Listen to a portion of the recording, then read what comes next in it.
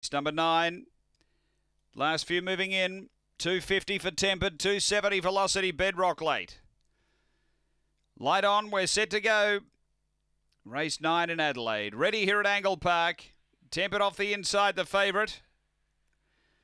Racing, tempered step well. There's speed, absolute dream. It's going to head them off. Absolute dream leads early. Stitchem Dolly cop the check, drop back. Velocity bedrock the second. Tempered the inside. Then Eureka Kiss from Run Like Crazy and Stitchem Dolly. But Absolute Dream's got a good lead coming to the turn. Out by six or seven on Velocity Bedrock. Then came Eureka Kiss, but it's all Absolute Dream down the running. And Absolute Dream won it by six. Second Velocity Bedrock. Third Eureka Kiss. And then Run Like Crazy. Uh, Stitchem Dolly and Tempered both back toward the the tail. The time here is around 22 and 50.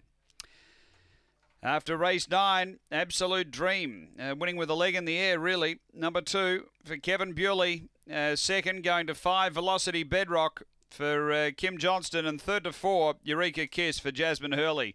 Numbers are two, five, four, seven, fourth after race number nine.